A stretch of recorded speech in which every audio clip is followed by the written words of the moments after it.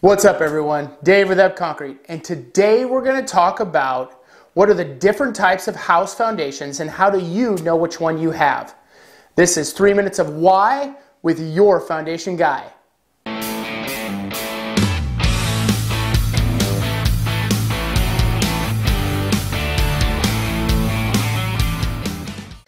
Okay, so today we're going to talk about how do you know what type of house foundation do you have that's underneath your home that's holding your home up? So this is three minutes of why with your foundation guy. So we're going to start the timer at three minutes and so we don't go over time.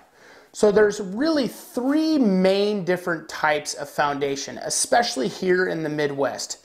The first one is a basement.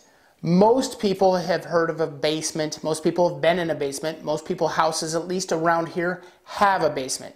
Now, some parts of the country don't have a lot of basements, but most people know what they are. Sometimes a technical term, they can be called a foundation or, you know, a um, just a, a, shelter or something. But a basement is really walls underneath your home that add more space to your house. So you usually go down a set of stairs and you're in a different part of your house where you can stand up, you can walk around in, you might have bedrooms and, and bathrooms and whatnot, and a family room down there.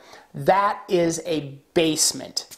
The second type of foundation for a home is going to be a crawl space. Now, a crawl space is like a half basement. Usually the walls are only going to be about this tall. And to get into a crawl space, usually you got to duck down or you got to get on your hands and knees. There are some crawl spaces where you might even have to get on your belly to get through them.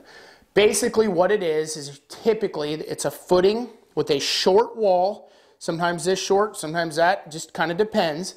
And then your house is framed on top of those walls. Sometimes there will be a floor poured in there, sometimes there won't. So a crawl space, again, is basically, it's a basement under your home, but it's not a living area. You can't really go and hang out down there. You can't have a bedroom down there. Um, it, and that, again, is kind of a, a different places of the country, you might see a lot more crawl spaces. So East Coast, you're going to see a lot more crawl spaces um, than you would anywhere else. So and the last and not least would be a slab on grade. And a slab on grade foundation is basically just your house. You don't have a basement under it. You don't have a crawl space under it. There's just a floor poured. There's probably going to be some footings poured on each side all the way around your house to hold your house up. And then they'll go and they'll pour a floor over top of your footings. Um, and they might there might be a, a, short stem wall or something, you know, or a row of block that they go and put on there. But a slab on grade, there's no place to get underneath your house. So there might be some wiring and whatnot that runs in the floor underneath, but that's, that's usually it. You can't get under. So a basement you can walk around in, you can live in. A crawl space you can get in, but you wouldn't want to live in it. You'd have to duck down and crawl everywhere.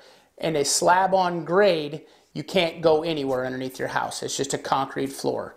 Um, I would highly doubt you'd probably see a dirt floor or anything. Maybe a wood floor. We have seen a couple wood floors, but mainly, mainly just a concrete floor and a slab on grade.